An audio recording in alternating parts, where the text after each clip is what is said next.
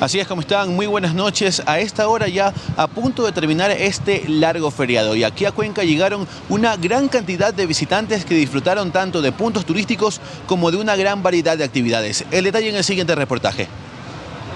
A simple vista se pudo observar que Cuenca fue uno de los principales destinos de los turistas en este feriado, quienes ocuparon sus plazas, parques, iglesias, conciertos y demás actividades. Súper bien, hemos salido bastante en la noche con mis amigos, fue lugares para comer, la comida súper rica. Se ha vuelto a reactivar totalmente lo que es el, el turismo, gracias a Dios. Y no solo en el día, pues por las noches hubo shows de mapping que iluminaron las iglesias.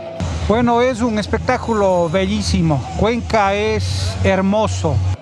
En la calle Grande el ambiente se encendió por la noche en los restaurantes y bares que prepararon todo para sus comensales. Recibimos las visitas de muchas provincias. Es, es muy alentador para la reactivación. Muy divertido, mucha gente todo muy alegre. Los restaurantes de la ciudad tuvieron lleno completo. Lo mismo ocurrió en los 200 hoteles de Cuenca, que habilitaron nuevos espacios y contrataron personal. 100% de ocupación. Es, es una alegría para todos porque dices prácticamente el trabajo realizado vale la pena. Este miércoles, en plena conmemoración de la independencia de la ciudad, las actividades no pararon. Ferias artesanales, presentaciones culturales, engalanaron la ciudad. Volver a coger ese ambiente, esa gente de ver de otro lado, de todo eso, un turismo bien bonito, oiga. Por todo esto, los representantes del sector turístico señalan que el feriado en Cuenca fue un éxito. En el feriado 9 de octubre, con un 80% más o menos de ocupación, tuvimos 45 mil visitas alrededor, ¿no es cierto?